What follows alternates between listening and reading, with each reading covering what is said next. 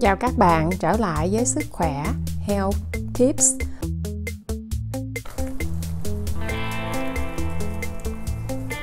Hôm nay thì mình cắt tỉa cái cây ớt thì cái cây ớt này vừa rồi trái cũng nhiều lắm các bạn. Sau khi mà mình đã thu hoạch xong rồi thì nó ờ, trở thành rất là tội nghiệp như vậy nè sau khi mà mình đã cắt trái hết rồi thì bây giờ nó cũng ờ, giống như là phải cần săn sóc thêm, rồi tỉa nhánh đồ thêm. Bây giờ thì chỉ còn có một, hai trái non ở đây thôi nè. Còn nhiêu là coi như sạch sẽ rồi đó. Lá nó hổm ngày trời lạnh á, thì nó cũng rụng lá. Rồi nói chung là nó cần săn sóc. Thì ờ, thường ví dụ như cây ớt mà bạn đã thu hoạch xong á, thì trước tiên là mình cắt nhánh cho nó. Thường, nếu mà một cây ớt thường thường á nếu mà cái chậu này mình trồng hai cây là đã được rồi đó các bạn. Không có cần phải ờ, nhiều cây như vậy. Tại vì hồi đó để rồi cái nó cũng lên thấy tốt rồi thôi để luôn. Cho nên thì cái, trong cái đây là 4 năm cây. Chứ thực ra các bạn trồng thì chỉ nên để chừng hai cây thôi nha. Thì nó sẽ tốt hơn là mình để nhiều. Tại cái đây là hai giống khác nhau. Rồi mới để luôn á đó thì các bạn thấy những cái nhánh mà ốm yếu á, là mình cắt, chừa những cái nhánh mập mạp thôi.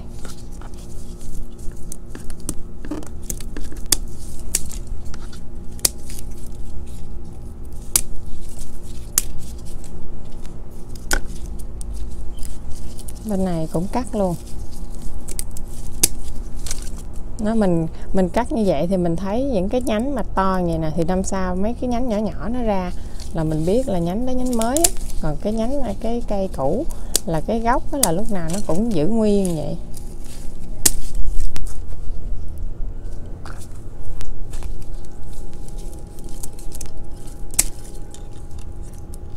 Cũng à, tùy theo khu vực đó, các bạn có chỗ nếu mà trời lạnh quá đó mà mình tỉa thì cũng tỉa như vậy nhưng mà nếu mà mình tỉa mà ngắn quá đó sát nhiều luôn á nhiều khi nhiều cây mà nó ốm là nó có nó sức khỏe nó đang yếu vậy đó là nó cũng bị uh, chết cái cây luôn nha các bạn. Nên nên thì cũng cắt nhưng mà không có cắt sát quá. Ví dụ như bên Việt Nam trời nóng thường nhiều á mình cắt mình trừ chừng gan hai gan. Nhưng mà ở Mỹ này mình thấy có nhiều khi mình cắt mà ngắn quá là có cây nó không có khả năng mọc nữa. Nó nó đi ngủ luôn. thì cái này mi chừa là cũng khoảng như cây này là cũng khoảng à, 3 gan còn cây này là à, 2 gan thấy vậy thì thấy được rồi nhưng mà tùy ý các bạn ha.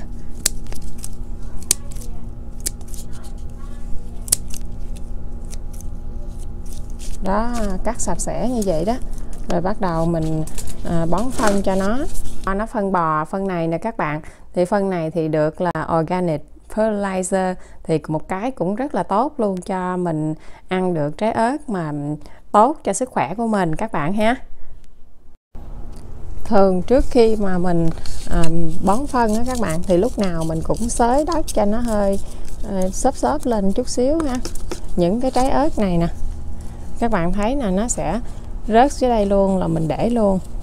Nếu mà được á mình muốn cho nó lên cây á, thì mình xé nó ra thì nó sẽ uh, có cái hột á nó sẽ nhanh nảy mầm. Và mai mốt nó sẽ thành cây ớt baby cây ớt con á.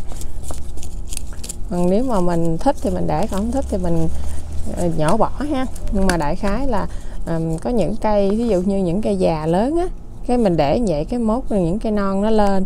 Thì những cây già nhiều khi ba bốn năm ờ, 5 năm thì có thể nó bị uh, già quá nó cũng chết. Thì cái cây baby thì tiếp tục mình dưỡng thì nó nó lên tiếp luôn. Thì cái cái chậu này mình cứ lau lau vô đất cho nó, vô phân cho nó thì mình vẫn giữ cái chậu ớt này hoài. Thì mình xới hơi hơi như vậy. Xong rồi thì các bạn cho phân vô. Các bạn nhìn trùng nè. Đây, nè, mấy cái câu trùng nè. Mấy căn này nó làm cho đất nó xốp á, thì nó tốt cho đất thì cái chậu ớt thường thường mình trồng á, các bạn, cái này là cũng cao một gan rưỡi á. Nó cần cao nhiều, nó mới đủ cái ờ, rễ cho nó đó. Thì sau khi mình cắt rồi thì mình cho nó chút ít phân vô đây. Mình cho khoảng, cái này là mình cho khoảng một chén phân bò rồi, mình rải vô đây, vậy là xong rồi các bạn. Rồi mình tưới nó lên ha là bắt đầu cho nó ra nhánh mới.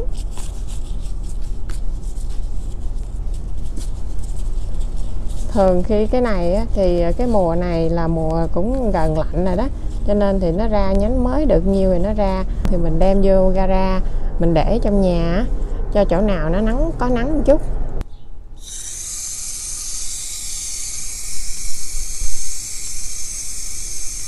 Mình tưới cho nó xong thì mình cũng ờ, để khoảng chừng ờ, 4 tiếng nắng rồi sau đó thì cũng bóng râm. Như vậy thì được thì các bạn. Ớt thì đúng ra là nó cần nắng nhiều á, nhưng mà lúc mà mình mới bón phân vậy nè, thì mình đừng có để nắng nhiều quá. Chừng vài ba ngày mình để ờ, nắng ít thôi, rồi sau đó thì mình hãy để nắng liên tục như bình thường. Rồi như vậy là xong khi mà mình cắt cái ớt, rồi mình bón phân cho cái ớt đó các bạn. My có chia sẻ về video cách trồng và săn sóc ớt cũng như mình bón phân để cho cây được nhiều trái. Thì bạn nào chưa xem thì mình xem lại những video đó của My ha. Hy vọng là cũng giúp cho bạn trồng ớt được thành công hơn.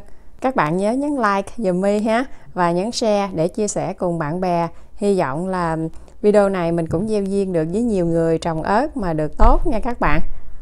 Hẹn các bạn ở nhiều video trồng cây hoặc là những món chai đơn giản hay là những mẹo giặt trong cuộc sống. Bye bye.